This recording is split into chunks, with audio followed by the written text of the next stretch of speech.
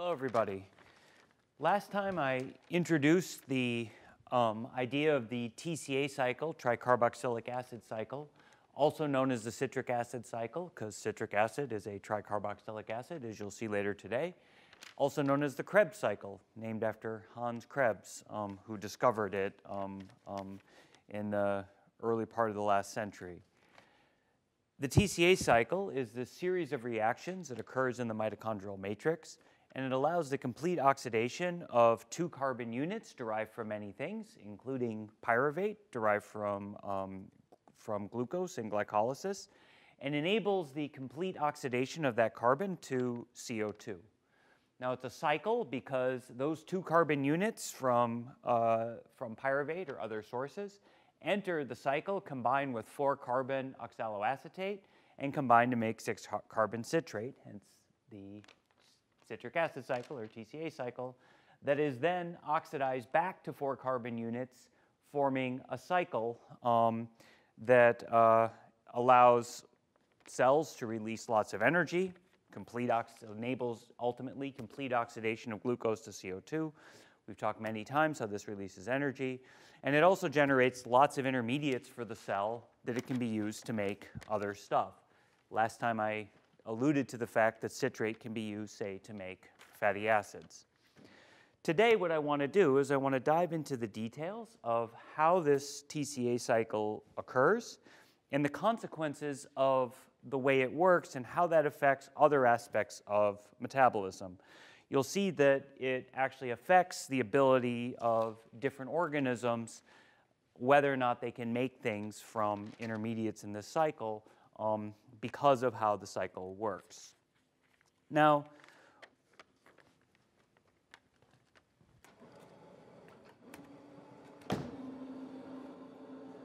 now to start, of course, if we're going to start from pyruvate, Pyruvate, of course, has three carbons.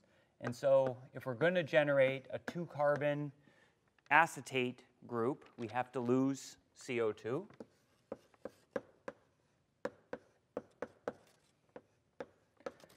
And as I described last a uh, couple lectures ago, acetate is also the thing that we can derive from metabolism of ethanol, showing us two things, metabolize glucose to pyruvate or ethanol itself, can both be turned into acetate, but really the donor is this molecule, acetyl-CoA, which is basically also a carboxylic acid, but rather than being a carboxylic acid, instead makes this thioester bond, which activates this carbon as a leaving group such that it can combine with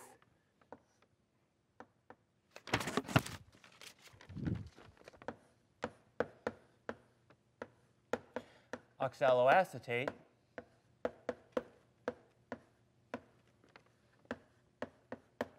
you'll remember from gluconeogenesis, releasing that S-CoA molecule to generate 6-carbon citrate.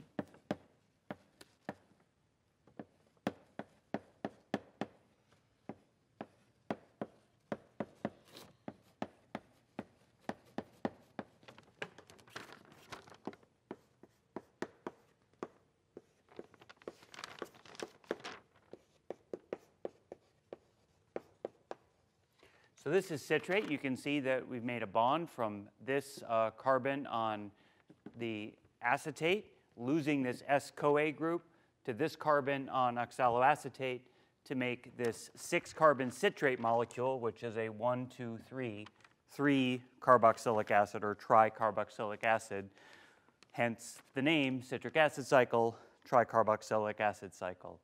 Now, these six carbons can then or this six carbon citrate molecule can then be oxidized, generating two CO2 molecules that are released and ultimately reforming oxaloacetate that can pick up another two carbon acetyl CoA to generate another citrate, and round and round the cycle goes, allowing in the end the net entry of two carbons effectively from acetate and release of two carbons as CO2.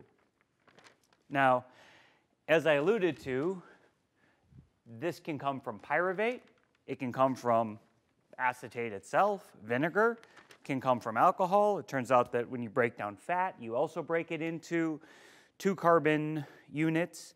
And so this cycle becomes very useful for cells because it allows the oxidation of many different molecules to completely turn that carbon into CO2.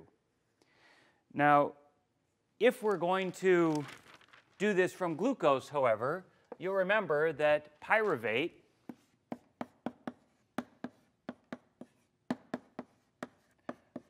has three carbons. And so if we're going to turn pyruvate into acetate or acetyl-CoA, we have to lose a carbon of CO2, right? We have to lose this carbon as CO2. Now we saw this before, that we can do this via, um, this is exactly how we, uh, we uh, generated um, um, ethanol when we did fermentation um, into, of, of pyruvate to, to ethanol. But that molecule didn't generate acetate, it generated acetaldehyde. Difference, of course, being whether or not this carbon gets oxidized in the case of acetate to the acid, or an acetaldehyde in ethanol metabolism where it re remains an aldehyde. Now, obviously, you can make ethanol and then turn that ethanol into acetate, and that's a pathway that I guess certainly would work. However, that's not the way it happens in most organisms. Most organisms actually directly produce acetate, or uh, more correctly, acetyl-CoA from pyruvate. So let's take a look at that reaction. Okay, so here once again is pyruvate. And if we turn that pyruvate into this two carbon acetyl-CoA, let's look here what has to happen. Well, the first thing is, is that we have to decarboxylate this molecule. And so that generates a CO2. Okay, we have to lose that one carbon. All right. Also, as I pointed out, this, if we do this as if we did it in ethanol metabolism, we'd be left with an aldehyde, but this is an acid, and so this carbon also has to be oxidized. We know how to do that. We can donate those electrons to something like NAD. So the NAD is reduced to NADH. And we had to add this S-CoA molecule, which I'll come to in a minute. And so each of these steps um, ends up making a fairly complicated reaction. Obviously, several cofactors are going to be involved. You should be able to guess that just by looking at it. Obviously, I already drew up their NAD. If we're going to decarboxylate, remember this is a alpha carboxylic, an alpha keto acid. The ketone group is alpha to the carboxylic acid. And so if we're doing alpha decarboxylation, as you might guess, we need a cofactor. That cofactor, as I told you before, is the cofactor thiamine pyrophosphate. And finally, there's this S-CoA group. We need to describe what that is. However, before delving into those, and there's actually a couple other cofactors that are needed as well, I want to mention one other issue about this reaction, and that this reaction happens in the mitochondria um, because that's also where the TCA cycle happens. So recall that if we divide the cell into two compartments, like in a eukaryotic cell, here we have the cytosol and the mitochondria in a eukaryotic cell. As we've already talked about, having different compartments helps facilitate different metabolic reactions because you can have different conditions in the two compartments. And so, as we said, glycolysis occurs in the cytosol, glucose to pyruvate. And last time I mentioned the TCA cycle, okay, occurs in the mitochondria. And so that means if we're going to fully oxidize the pyruvate carbon to CO2 using the TCA cycle in the mitochondria, that pyruvate has to get from the cytosol to the mitochondria, or at least carbons from the pyruvate have to get there. It turns out, you'll see in a minute, acetyl-CoA is a very large group, and so pyruvate itself is transported into the mitochondria, and that's where the reaction occurs to turn it into acetyl-CoA that can then enter the TCA cycle and oxidize it.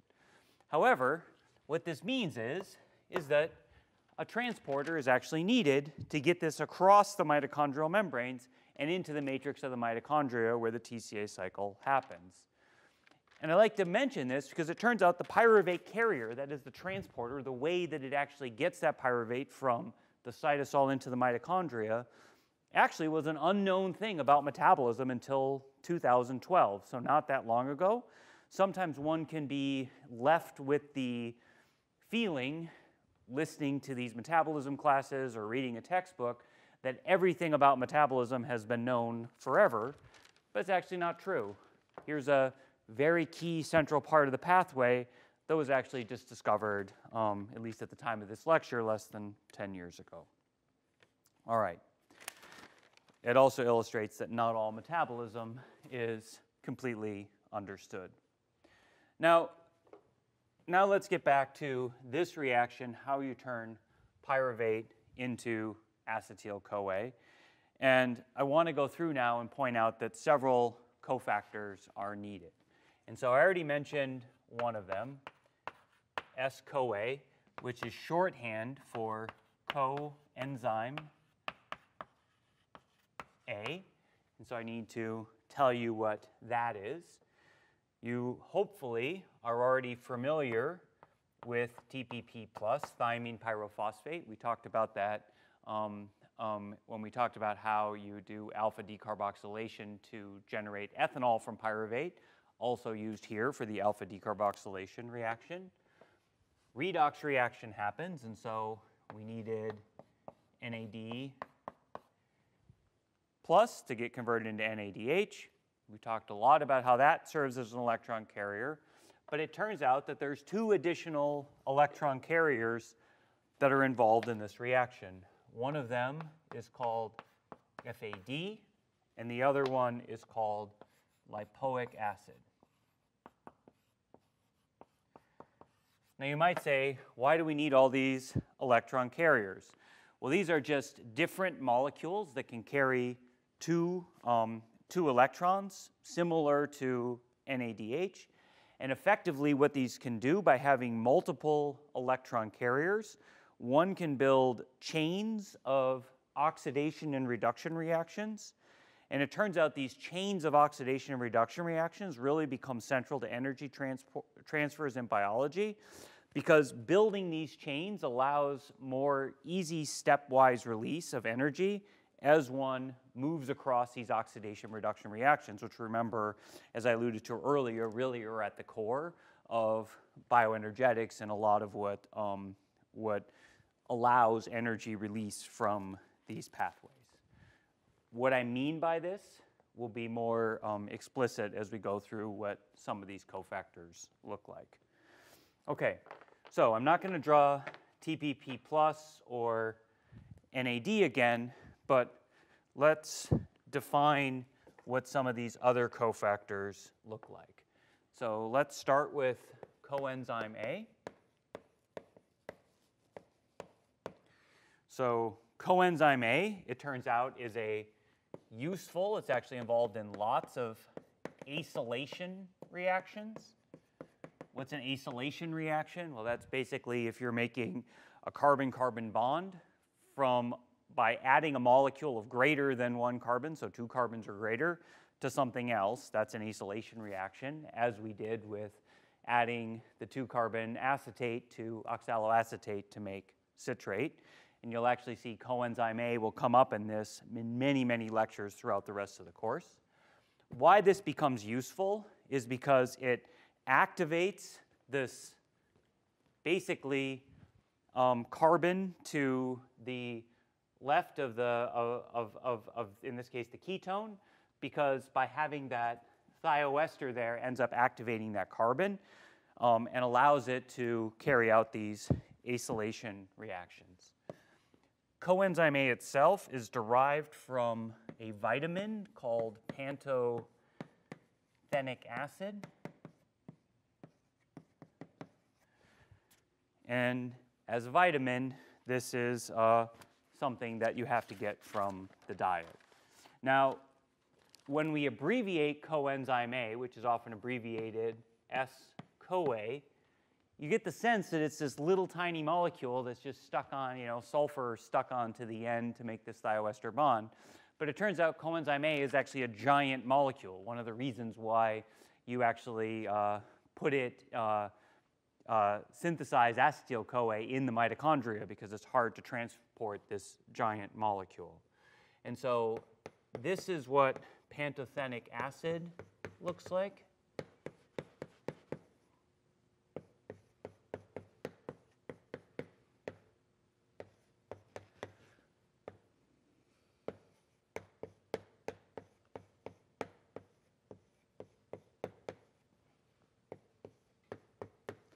Okay, so if I put an acid group here and a hydroxyl group there, that would be pantothenic acid, the thing that's in your um, cereal on the side of your cereal box.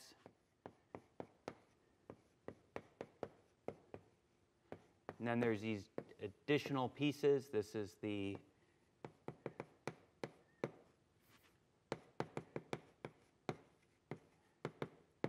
active end of the molecule, that's that sulfur from the S-CoA.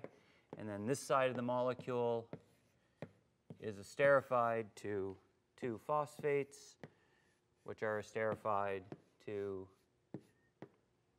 I'm not going to draw it out, but this would have an adenine base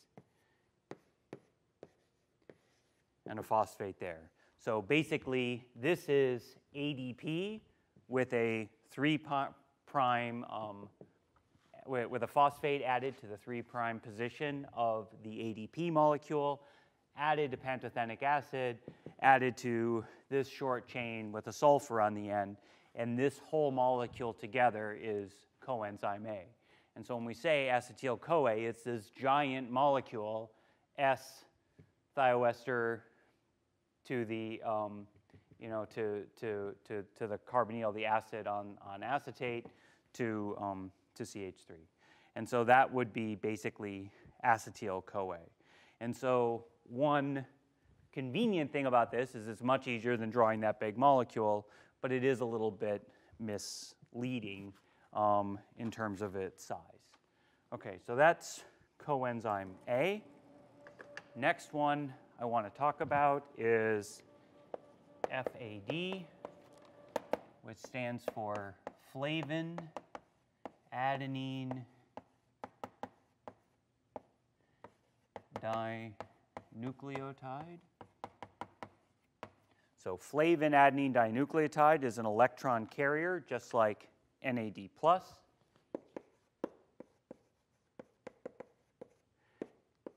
And it's derived from the vitamin riboflavin, also referred to as vitamin B2. Um, another thing from the side of your cereal box, and basically looks like this. And so, like NAD, it's a dinucleotide.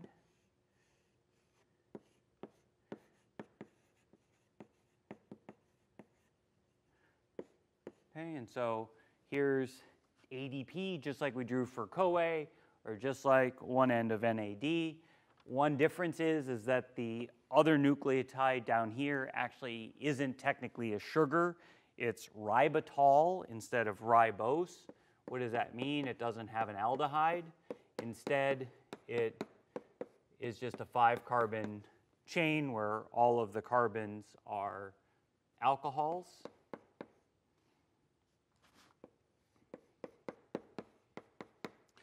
And so since there's no aldehyde, it doesn't form a ring.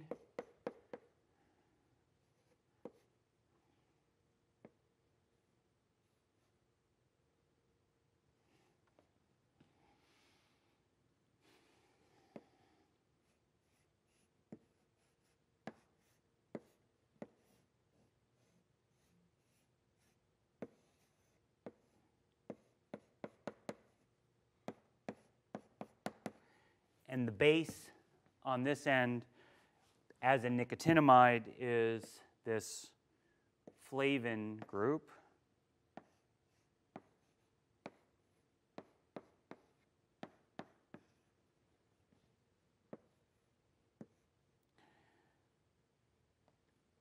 which looks like this. And so this is FAD, which is in the oxidized form. Turns out in the oxidized form, FAD is yellow, hence riboflavin, flavin, yellow.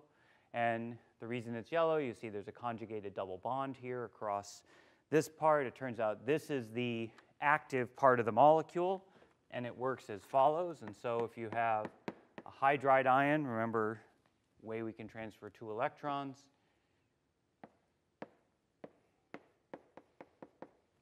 can transfer the two electrons that way, and that allows it to generate, and I'll just draw the middle here, active part of the molecule.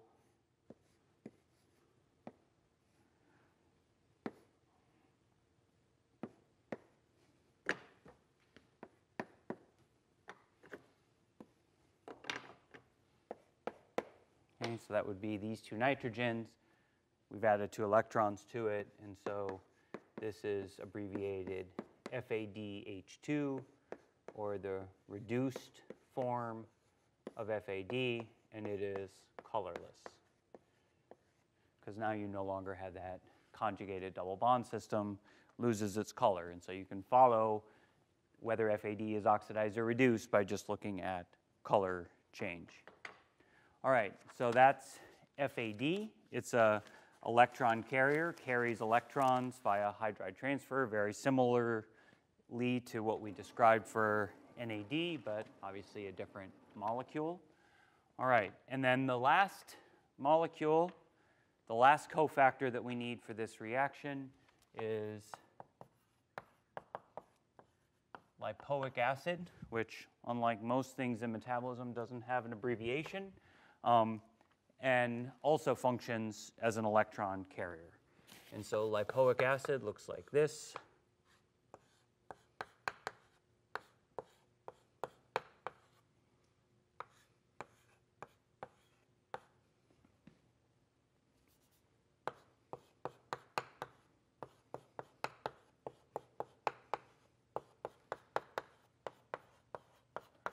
Okay, so that is lipoic acid.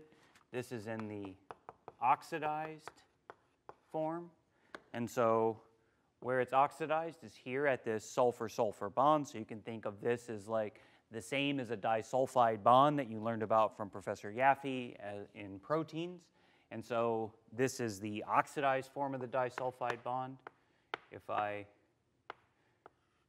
take this hydride, transfer two electrons across that bond, then it goes to, and I'll just draw here the active end.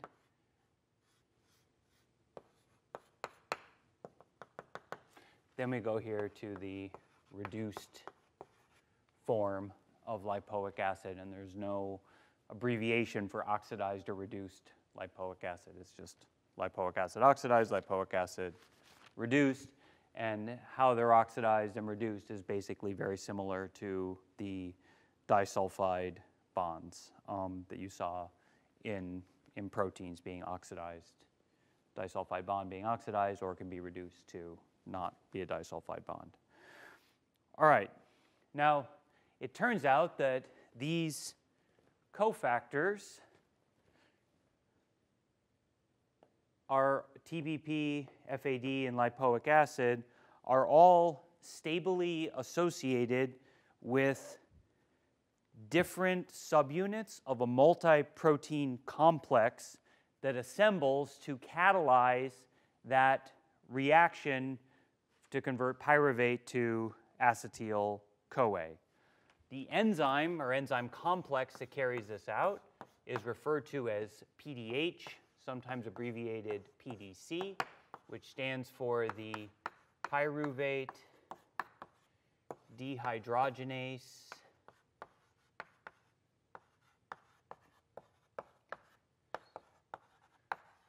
complex. So pyruvate dehydrogenase, PDH, pyruvate dehydrogenase complex, PDC. This complex is basically three different polypeptides that come together to form a complex and catalyze that reaction. Now, where this complex sits, so if this is the mitochondria, this is the matrix, that's where this pyruvate dehydrogenase reaction occurs, that's where the, the TCA cycle occurs, and this PDH complex is basically sitting here at the membrane on the matrix side of, of the membrane. Now, the three different polypeptides that come together to form this complex are creatively named E1, E2, and E3 for enzyme 1, 2, and 3. And each of these, as I alluded to, is associated with a different cofactor.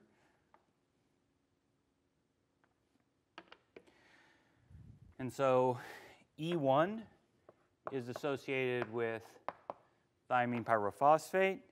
ET, E2 is associated with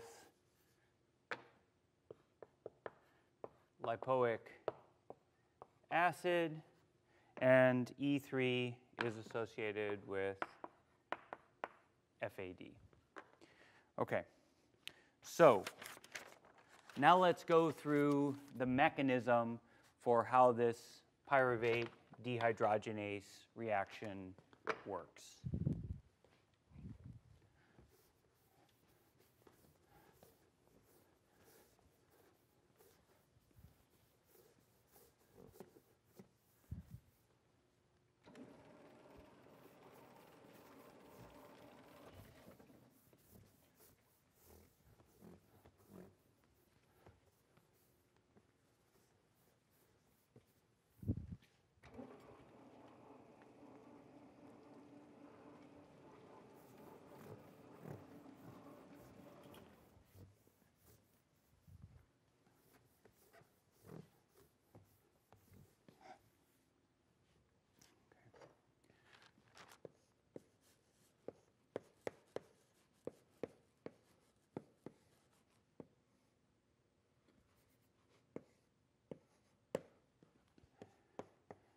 So remember, this is the active part of TPP+. plus. It is bound in the active site of enzyme 1, and it reacts with pyruvate to catalyze alpha decarboxylation, just like we described for conversion of pyruvate to alcohol. So you're going to see exactly the same mechanism that we drew before.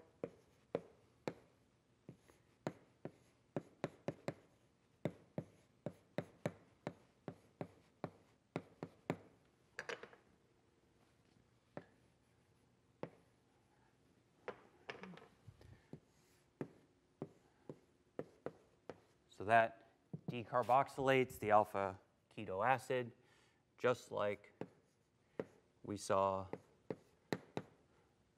to generate acetaldehyde.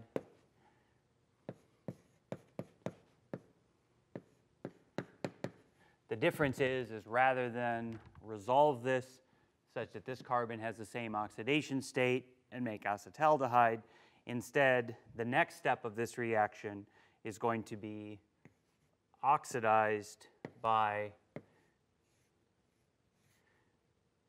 reducing lipoic acid, so the active part of lipoic acid that is in the active site of enzyme of the E2 subunit.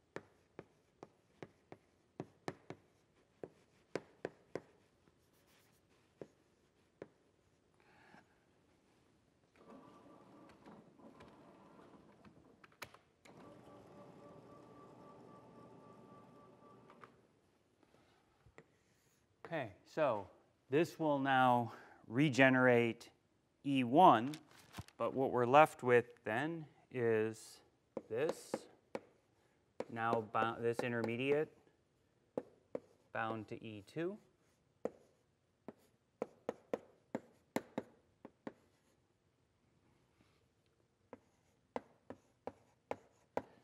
Here's where coenzyme A can come in, which will then generate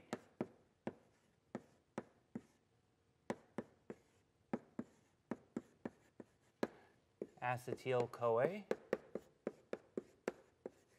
But now we are left with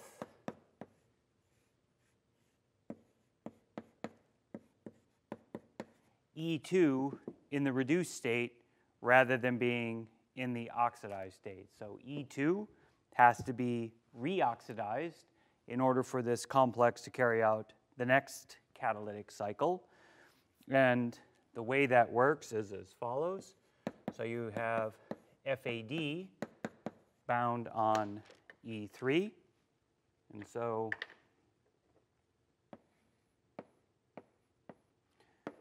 you have a hydride ion from the oxidation of E3.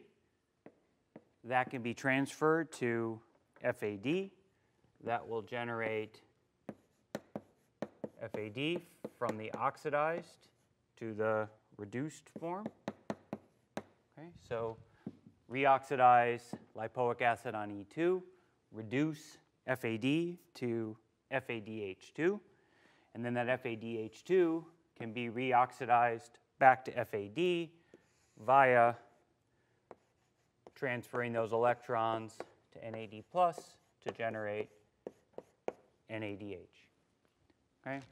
So in this case, FADH2 reoxidized to FAD, NAD plus reduced to NADH. And so effectively, what this happens is, is that enzyme E1 and E2 cooperate to call what's referred to as oxidative alpha decarboxylation of pyruvate while adding CoA, so that's where you get acetyl-CoA, with reduction of lipoic acid in E2, and then E3 reoxidizes the lipoic acid in E2 while generating NADH. This NADH, once it's generated, of course, those electrons have to go somewhere, so like, like in glycolysis, it also needs to regenerate to NAD at some point. This is ultimately the electrons that end up on oxygen, and it's really this series of electron transfers with oxygen being a good electron acceptor that ultimately allows controlled energy release during carbon oxidation. And cells, you'll see, can use that to make ATP or do other kinds of work. Okay. So the net reaction then, or another way to draw the pyruvate dehydrogenase reaction would be as follows, and that's taking pyruvate to acetyl CoA, all right? And so we're going to take coenzyme A and release CO2. This is done by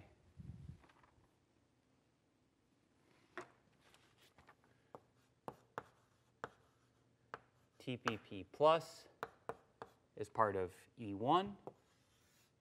That involves converting the lipoic acid in E2 from the oxidized to the reduced state. That lipoic acid then has to be reoxidized. If something's oxidized, something else has to be reduced. That's FAD on E3 which also then cycles between the oxidized and reduced state, and ultimately those electrons ended up being transferred to NAD plus to generate NADH. And so the PDH complex is basically a chain of electron transfer reactions.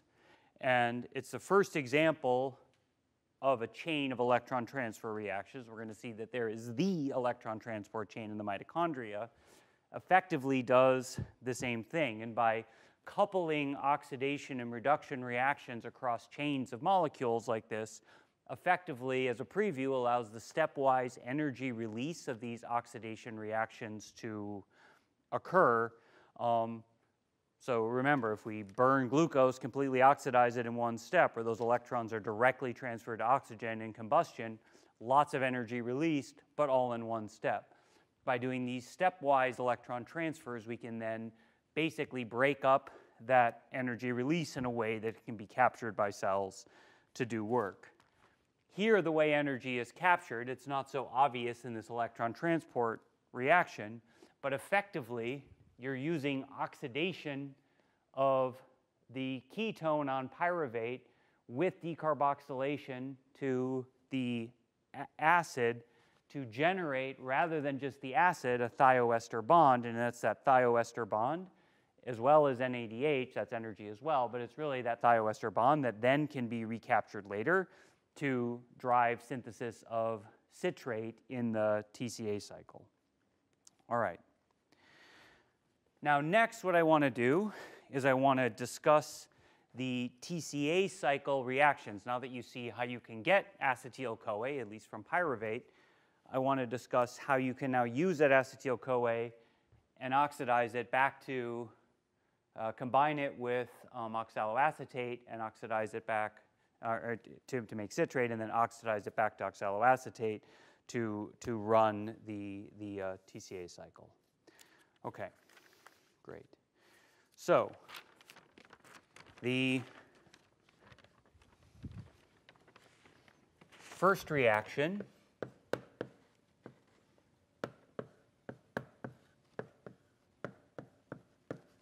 TCA cycle, here's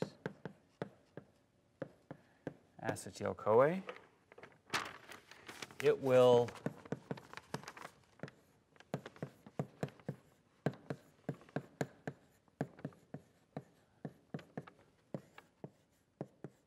combine with oxaloacetate.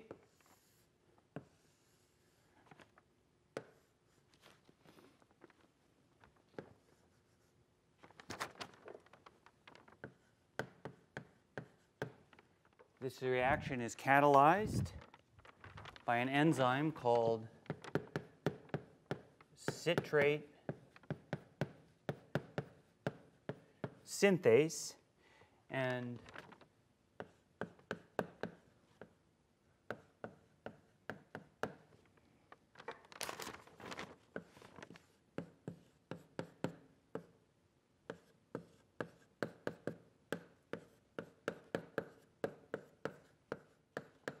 generates the six carbon tricarboxylic acid citrate.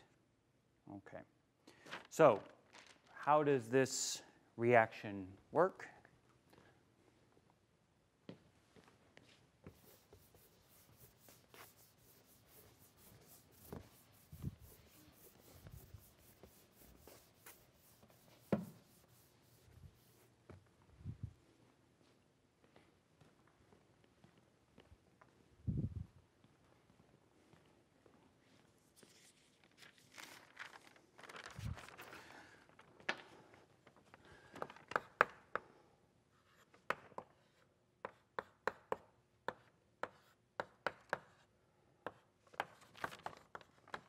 here's drawing acetyl-CoA in a slightly different way.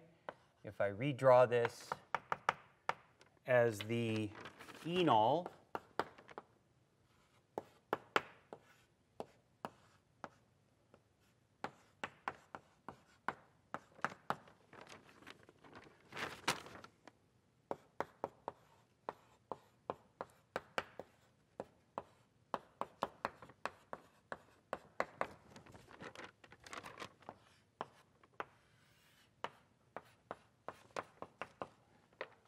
this will generate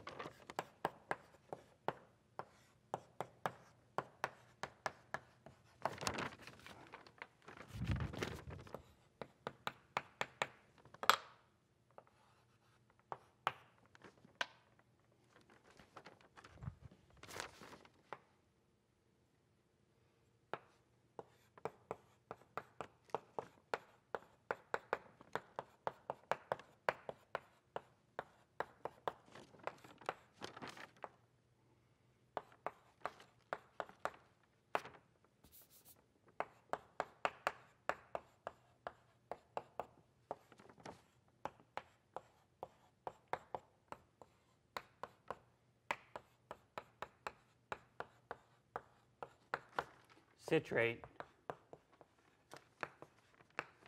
via effectively that mechanism. Okay. Next, citrate is converted by adding water across this carbon-carbon or by removing water across this carbon-carbon bond to generate this intermediate called cis aconitate.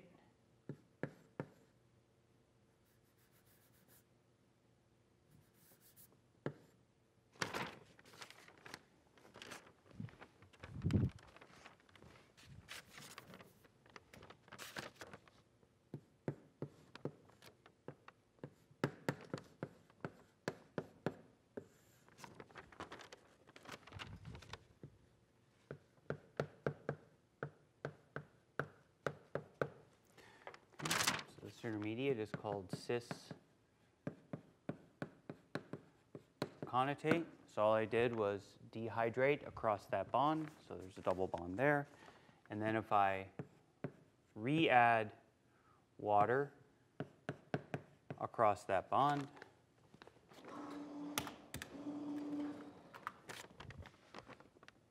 I generate this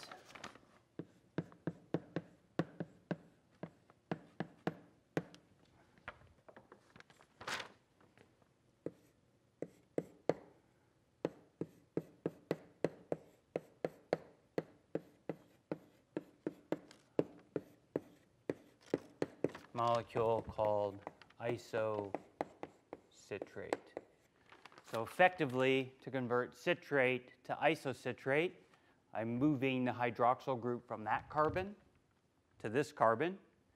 To do that, I basically dehydrate, make a double bond, remove water, re-add water across that bond in the opposite direction to generate this molecule, isocitrate. This reaction is carried out by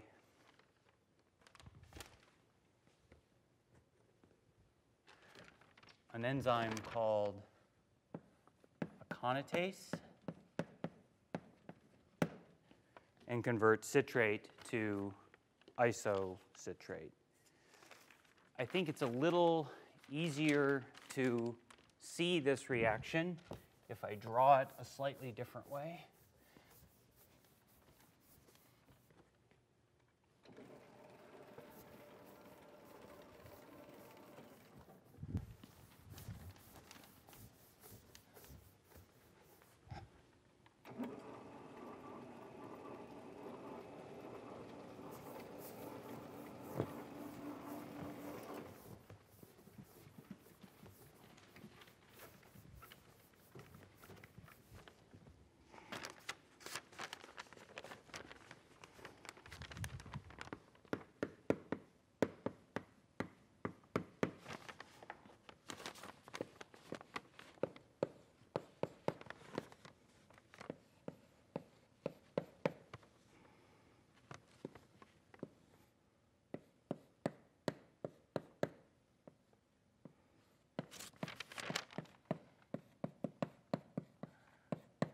this here is just drawing citrate by just slightly rotating the molecule to look like that. And so I'm basically removing water here. That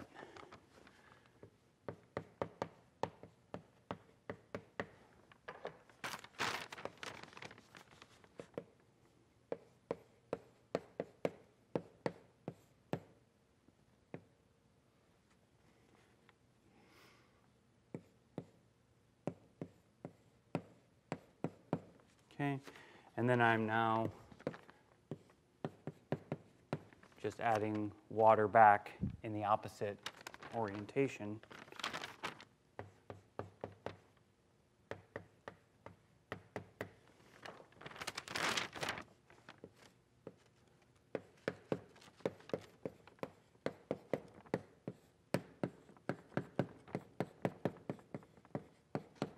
to generate isocitrate.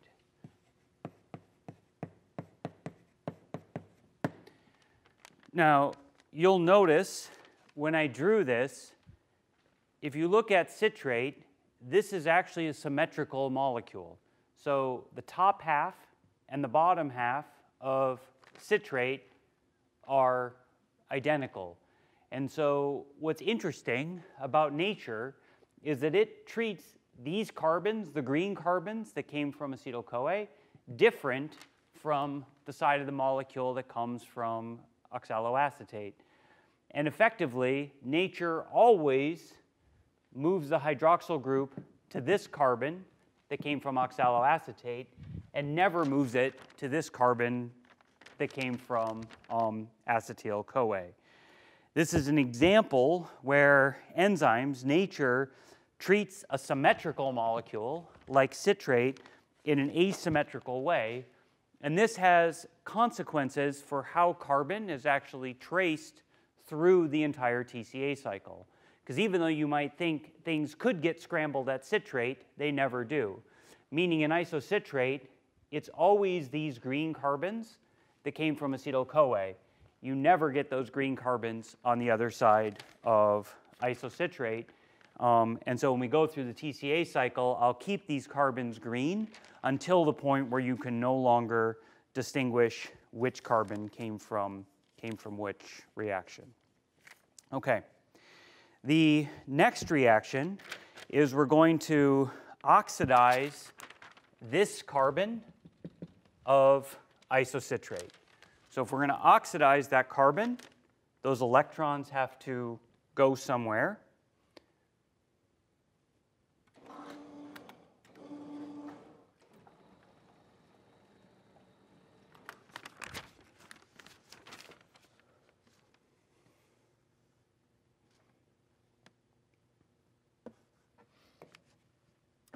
And so if we oxidize the carbon, we can use NAD plus as an electron acceptor, reduce it to um, NADH.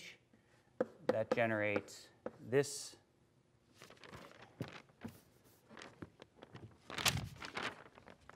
intermediate.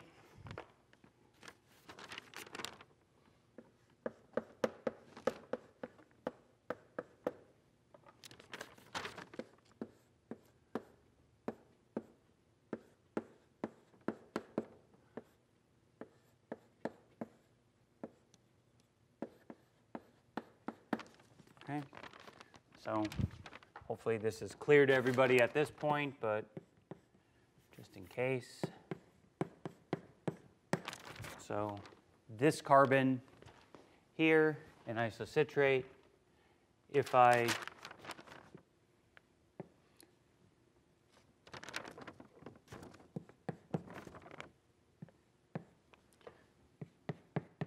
oxidize that alcohol to the ketone.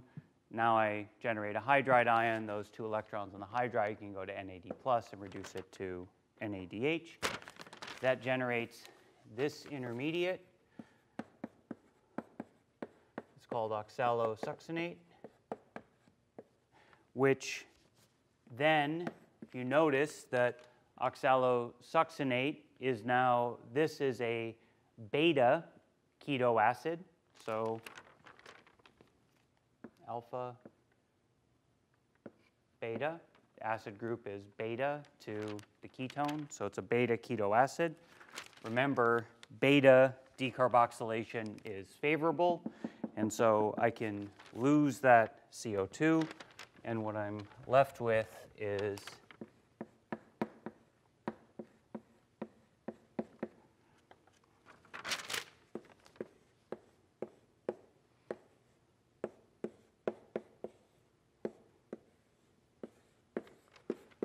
this molecule, which is called alpha keto glutarate. So this whole reaction here, the oxidation of the alcohol to the ketone, followed by beta decarboxylation of oxalosuccinate to alpha ketoglutarate, is carried out by an enzyme called isocitrate dehydrogenase.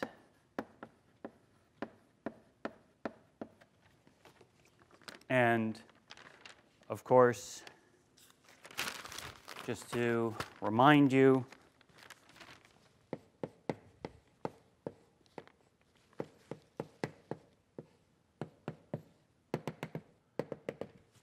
here's that beta um, keto acid in oxalosuccinate.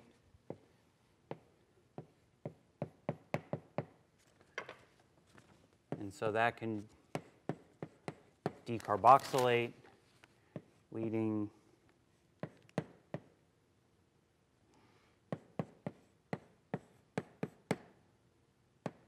this enol, can, of course, rearrange back to the ketone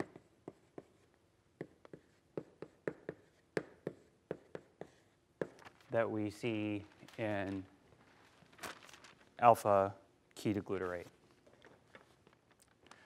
Now, if you look at alpha ketoglutarate, you'll notice that, and I will redraw over here.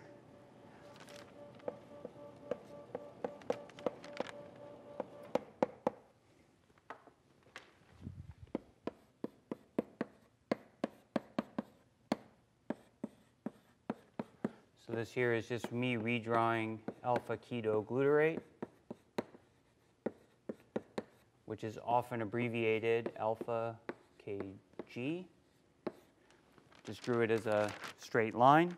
Now, if you'll notice, alpha ketoglutarate is a alpha keto acid. And so here the acid group is alpha to the ketone, so an alpha keto acid. It's effectively just like pyruvate, but has this additional pieces on it. And it turns out the next step in the TCA cycle is the exact reaction that we saw with pyruvate dehydrogenase. It's alpha decarboxylation, oxidative alpha keto acid decarboxylation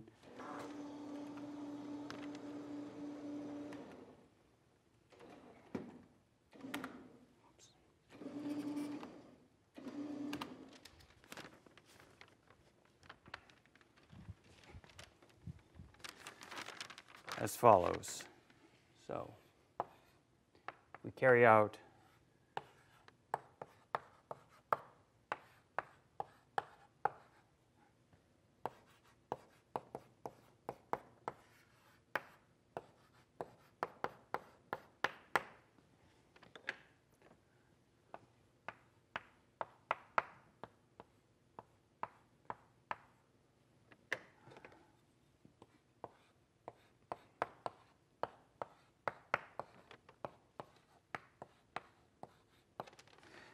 This is a molecule called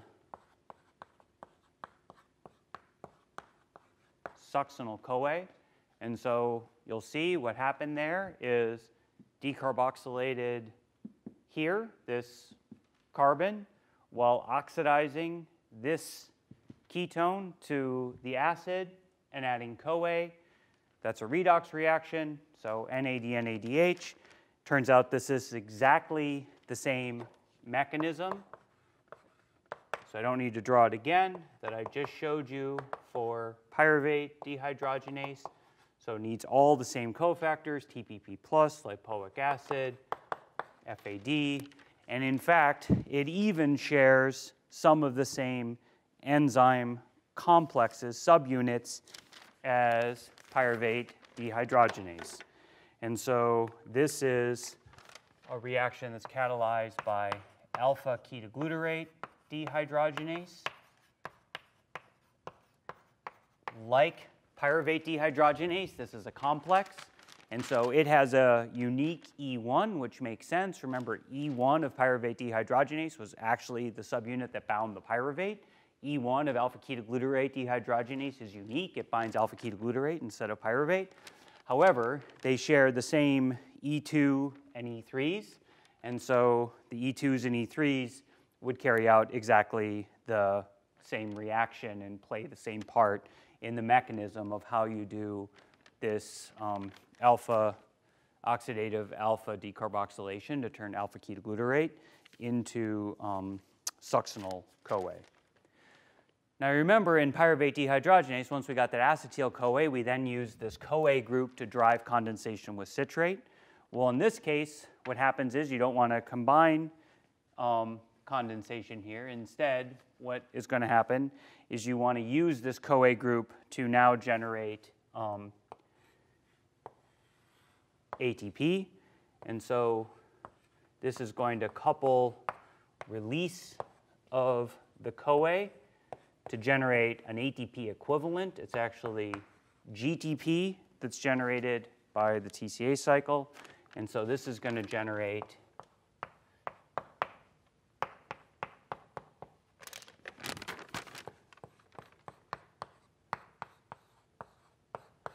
this molecule succinate. And the enzyme that does this is called succinic thiokinase.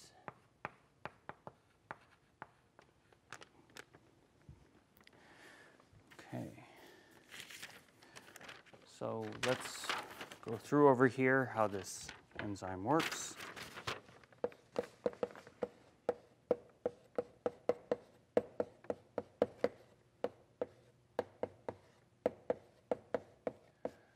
So here's succinyl CoA.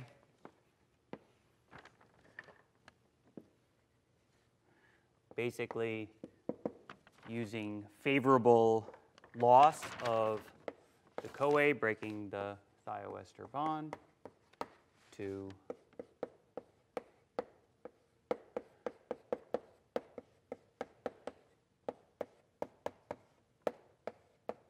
to generate this acid anhydride. We saw an acid anhydride before in um, glycolysis. Remember, we made 1,3-bisphosphoglycerate. So that's a good phosphate donor. And then that can be used to generate succinate.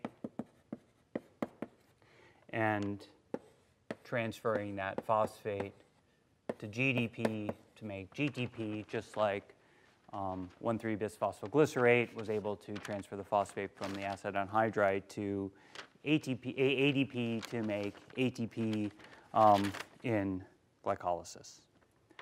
Okay, so the next step is to oxidize this carbon-carbon bond in succinate. So if we're going to oxidize a carbon-carbon bond, those electrons have to go somewhere. All right, so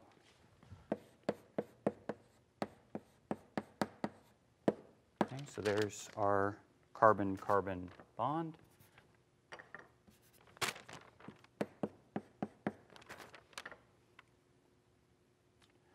And so if we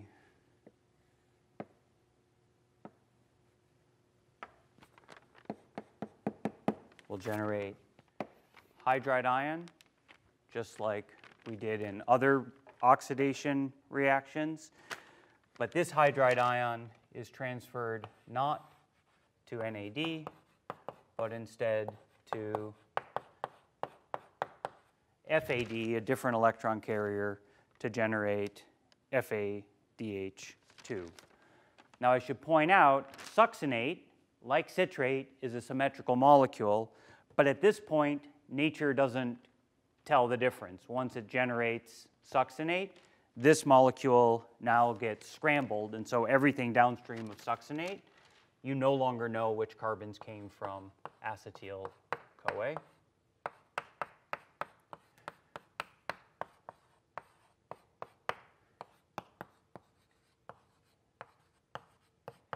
This generates this molecule called fumarate, and this reaction is carried out by an enzyme called succinate dehydrogenase.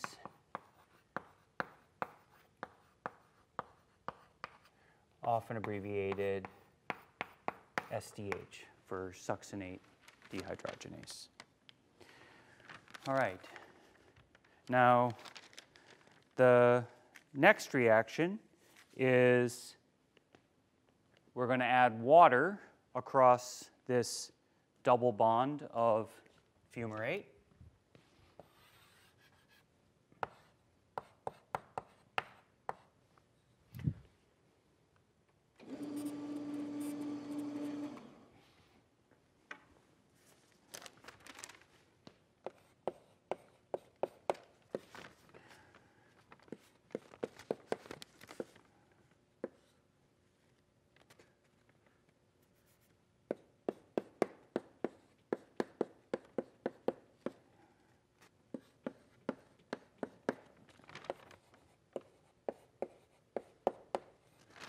That generates this intermediate,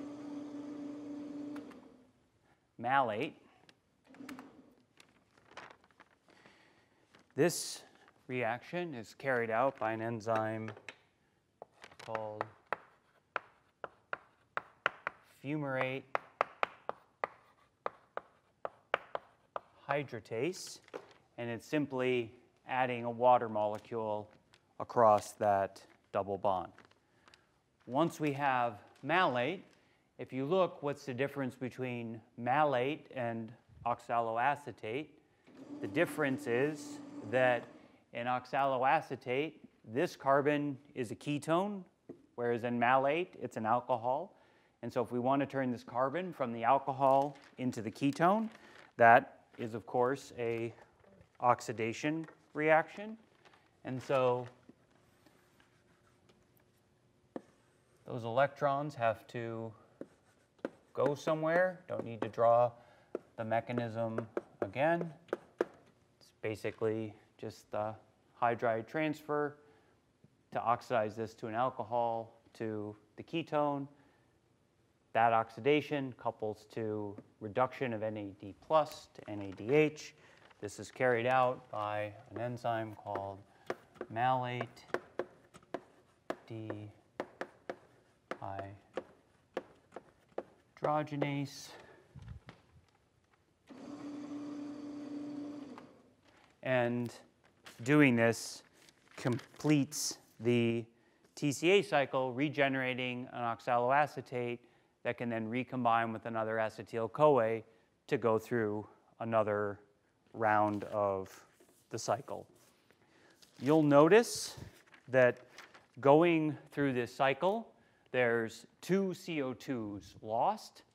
One of them is lost here at the isocitrate to alpha ketoglutarate reaction. So this decarboxylation from oxalosuccinate to alpha ketoglutarate, that beta decarboxylation, that's the first CO2.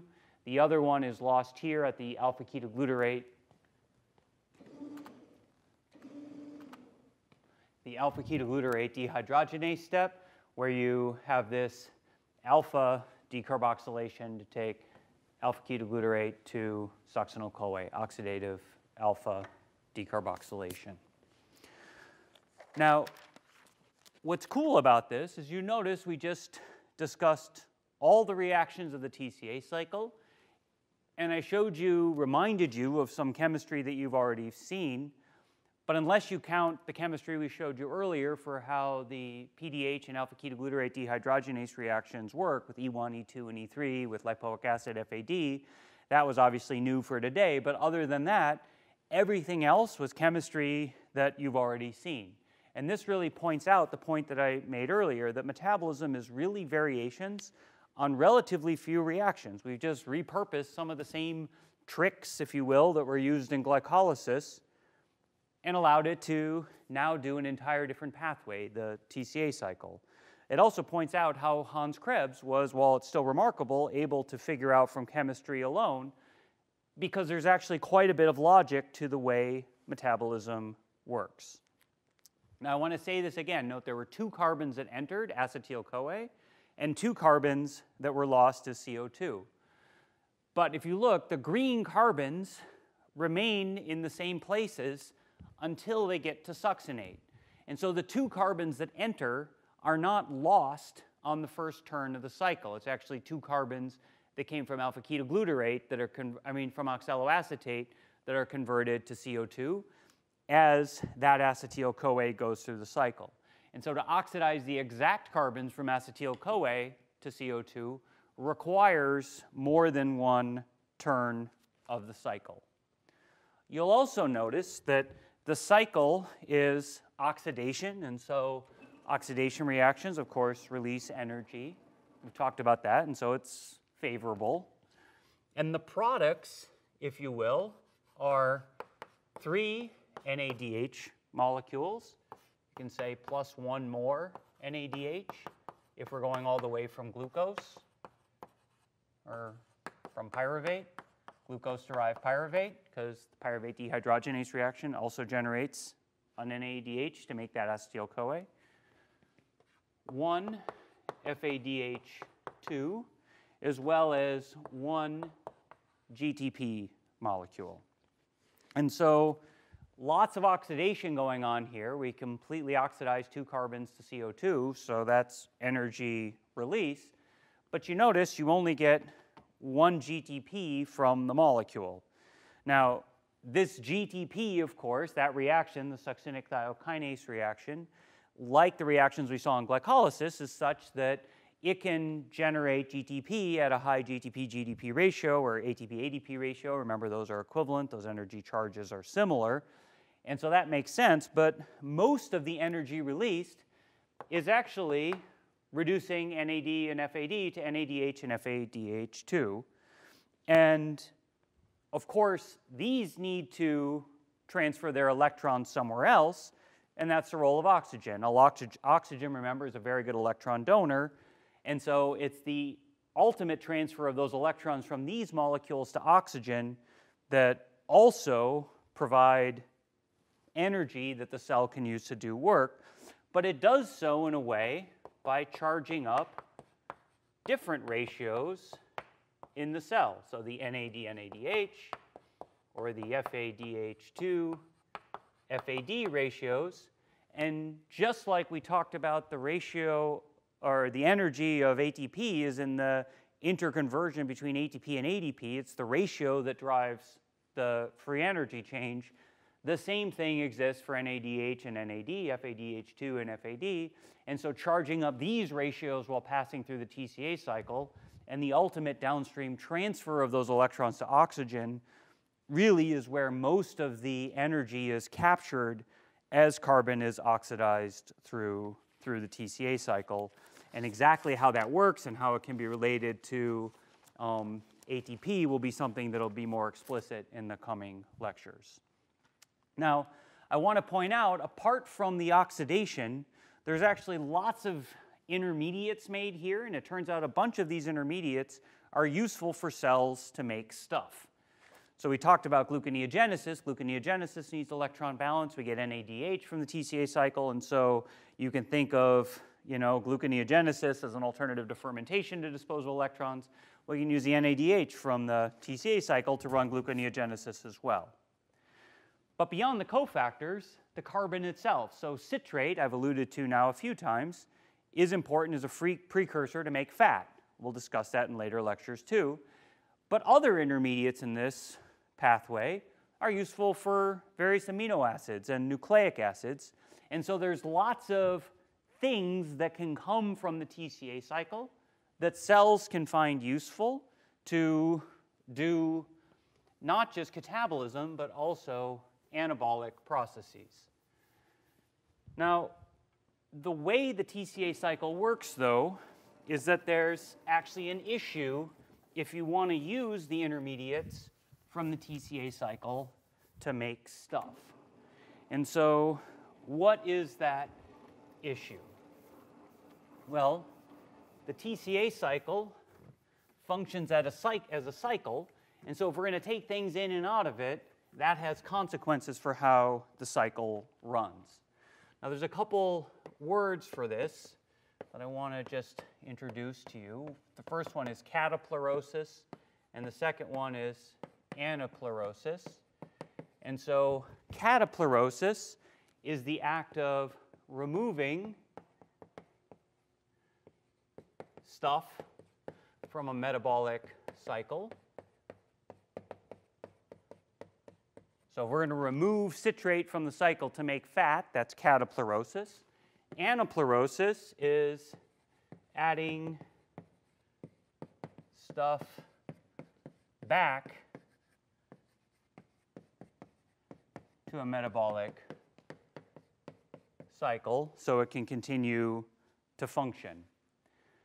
Viewing this is really evident if you think of the TCA cycle as a chicken and egg problem. So the very first time acetyl-CoA was generated, how do you start the TCA cycle in the first place? You can't add it to the TCA cycle unless you have oxaloacetate to combine with the acetyl-CoA, which can then generate another acetyl oxaloacetate. So where does the first oxaloacetate come from? Well, we already talked about one reaction. We talked about it in the context of gluconeogenesis that can solve this problem. And so we have pyruvate. And so we talked earlier today how we can do oxidative decarboxylation of pyruvate to give acetyl-CoA. But we talked in the gluconeogenesis lecture how we can add a CO2 to pyruvate to generate oxaloacetate. So if I do those two reactions, now I have all the carbon I need to generate a citrate and start off the TCA cycle. Now, obviously, if I do cataplerosis and I remove that citrate I made to make fat, well, now I need 2-pyruvate again to generate the next citrate if I'm using this pathway, because every time I bring an acetyl-CoA into the cycle, I need an oxaloacetate to combine it with. And so if I remove something, I have to add something back. And so pyruvate to oxaloacetate, the pyruvate carboxylase reaction, is an example of an anaplerotic reaction. Now, what this means, though, is that in order to do anaplerosis, you have to be able to generate four carbon oxaloacetate, or a four carbon molecule. Now, pyruvate carboxylase, pyruvate oxaloacetate, allows you to do that. We can take a three carbon molecule and generate four carbon oxaloacetate. However, if we start from a two carbon molecule, like acetate, or acetyl CoA that enters the cycle, it's actually not so simple to take that two carbon molecule and turn it into four carbon oxaloacetate. And in fact, humans lack any enzymes that allow them to take a two carbon unit, to take acetate or acetyl CoA, and turn it into anything that's longer than, net turn it into anything that's longer than two carbons. And this has important implications for human physiology. Because what it says is, is that we can't make glucose from anything that starts with something less than three carbons long. So if you drink alcohol and you metabolize that alcohol to acetate, or it turns out you take fat and you break down fat also to acetyl-CoA to acetate, two carbons long, there is no way to turn that mo those molecules into glucose because you cannot generate the oxaloacetate to do the anaplerosis that's necessary to get it there. what this means is, is that our body can only store calories that come from two carbon units, fat or alcohol, as fat. We can never turn them back into glucose um, or make glycogen. And this is very relevant for those of you who go to medical school because it's relevant to our physiology. And that is when our bodies exhaust all of our stores of glucose, what happens? Our liver can no longer do gluconeogenesis. And so what happens? Now it has to switch over to doing something else. It has to work with two carbon units. And ultimately, this is ketone metabolism, which we'll talk about in a few lectures. It also said that the body, um, that this is also the basis of a very old adage that's out there that some of you may have heard that you need to have some other fuel if you're going to burn fat. The basis for that is, is that fat is turned into two carbon units, acetyl-CoA units. And so if you're going to take those acetyl-CoA units and ultimately burn them away, turn them into CO2, you need a source of oxaloacetate or your TCA cycle won't work. Now you don't need a lot of something, but it is true you can't start just with acetyl-CoA as a human and turn it into CO2. So you need some, at least a little bit of oxaloacetate to get your TCA cycle started. Now, that's a problem that we as face as humans and other mammals face, but it turns out there's lots of microbes out there that grow just fine on acetate or on alcohol, even if it's the only carbon source. And so those organisms must have some way to build stuff from two carbon units. That is a way to use two carbon units and do anaplerosis. And it turns out the way they do this is via something called the glyoxylate cycle.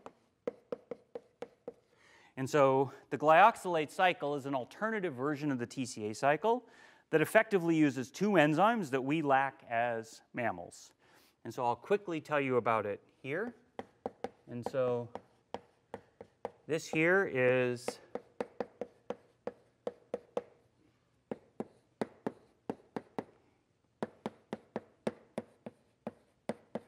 So this is iso citrate from the TCA cycle.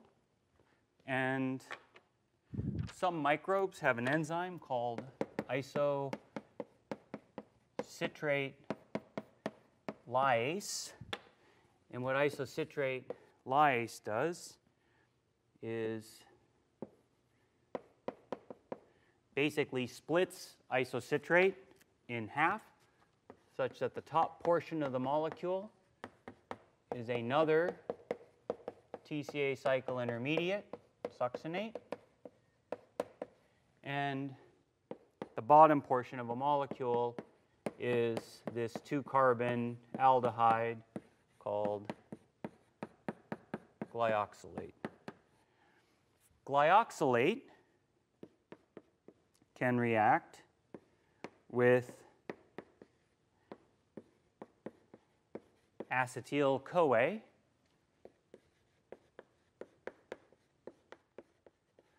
by another enzyme that we lack as humans called malate synthase.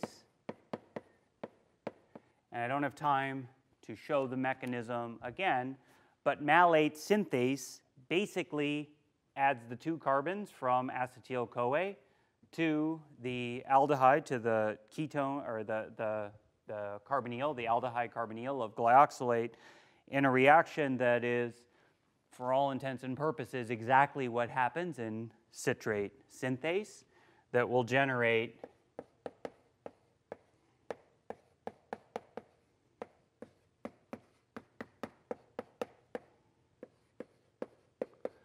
this molecule, which is malate, also in the TCA cycle.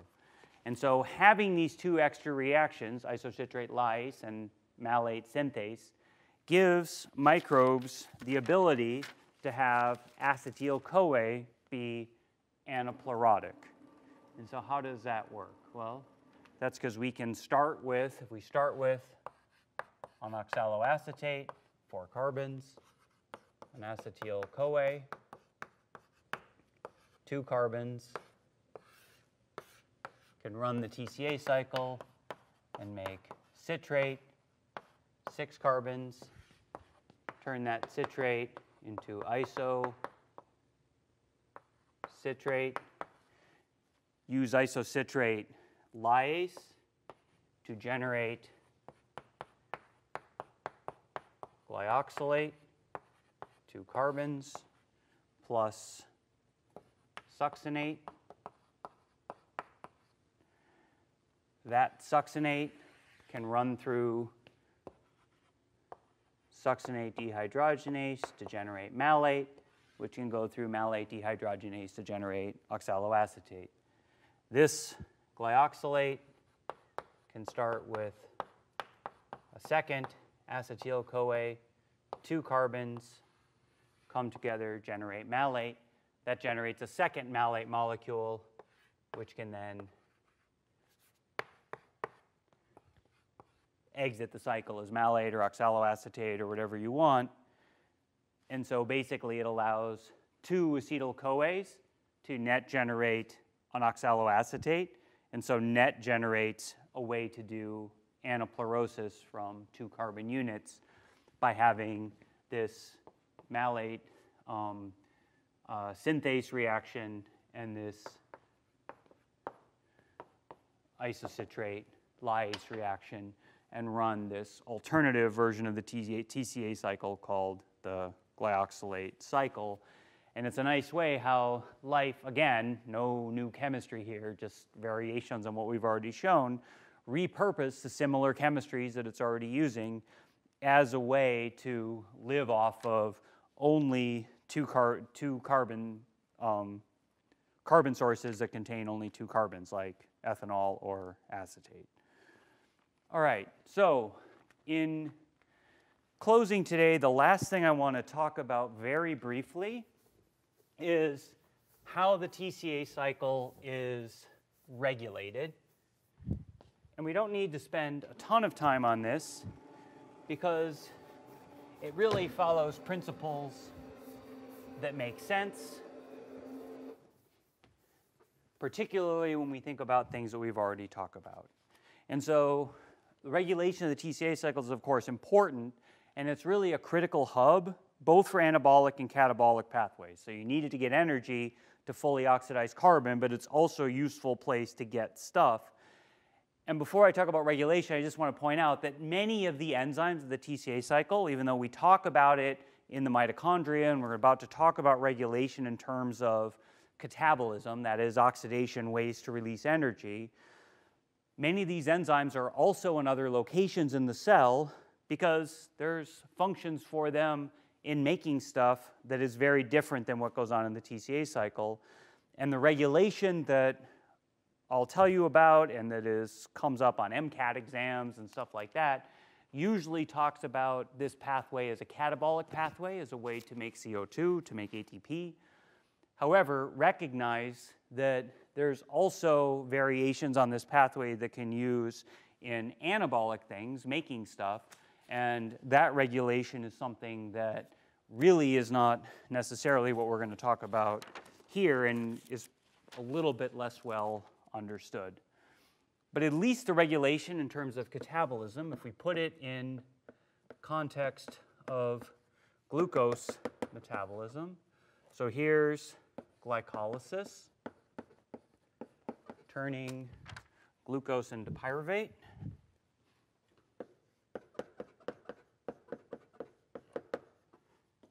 And then that pyruvate can operate through the pyruvate dehydrogenase reaction to generate acetyl-CoA. That acetyl-CoA can combine with oxaloacetate to generate citrate. That citrate, of course, can be used to generate fat, as we've talked about. That can go to isocitrate, isocitrate to alpha ketoglutarate. That's catalyzed by isocitrate dehydrogenase, which I will abbreviate IDH, alpha ketoglutarate to succinate, more correctly to succinyl CoA by alpha ketoglutarate dehydrogenase, alpha KGDH, and then this back to oxaloacetate. And so the main enzymes that are typically discussed as being regulated are alpha ketoglutarate dehydrogenase, isocitrate dehydrogenase, and pyruvate dehydrogenase. I also drew glycolysis, and I'll just write over here gluconeogenesis up here because we can now see more fully how this plays in with citrate acting as a positive regulator of gluconeogenesis and an inhibitor of glycolysis. Again, you're full in citrate, stop running glycolysis, start running gluconeogenesis. Now the other regulation, if you have a lot of acetyl-CoA, stop making it from pyruvate. Acetyl-CoA is a negative regulator of PDH.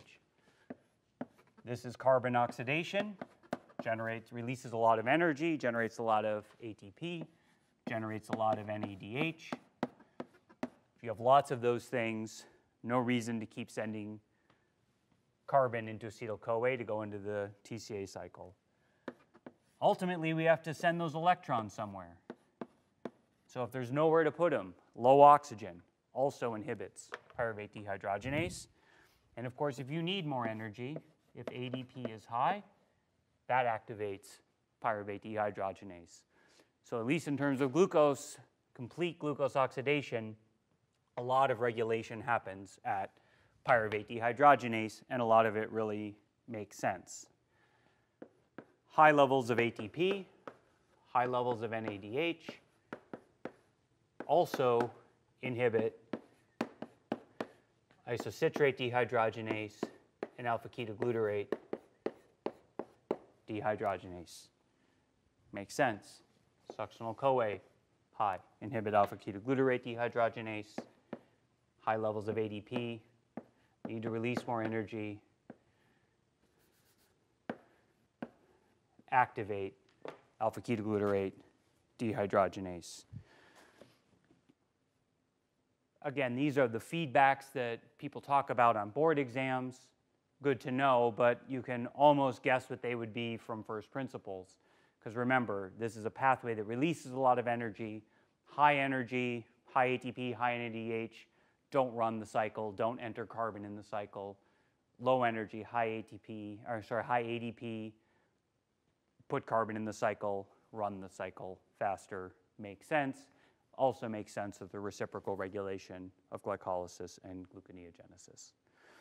Okay, great. Next time we will talk more about how we can oxidize fatty acids, fat, um, by accessing acetyl-CoA and entering it into the cycle. Thanks.